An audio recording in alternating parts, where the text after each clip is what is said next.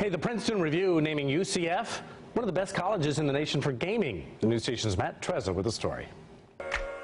What do fire-breathing robot dinosaurs, alien spaceships, and wisecracking demons all have in common?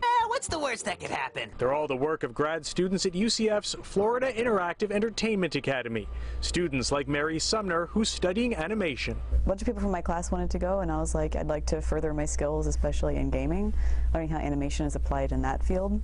So that's what brought me here. She's one of 68 students in her class this year, a program the Princeton Review recently ranked fifth in North America.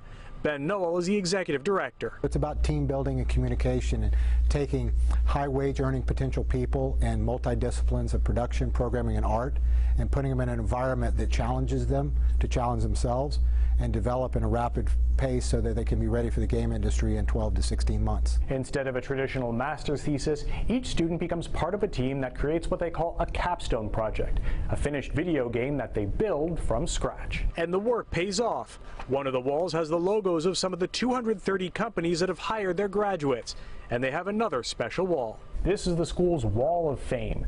Each of these games has one or more alumni whose names are in the credits. I would say if you want to be in the game industry, and if you're in the Southeast specifically or you're in Florida, there's no better place to go come learn. Mary Sumner says the programs put her on the road to success. It's just really cool to see how everyone improves and can like bring that into the project. In Orlando, Matt Trezza, Fox 35 News.